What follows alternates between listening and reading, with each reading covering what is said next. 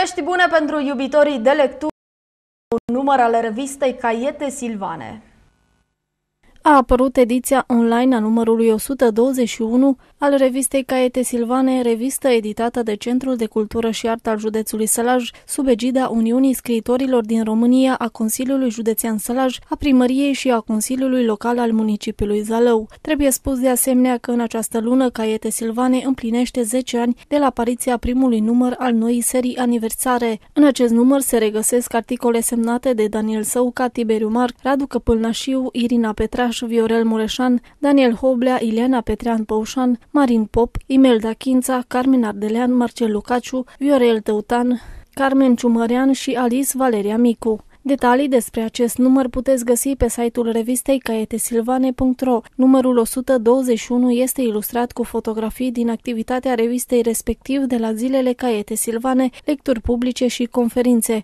Reamintim că primul număr al noii serii a revistei Caete Silvane a apărut în februarie 2005.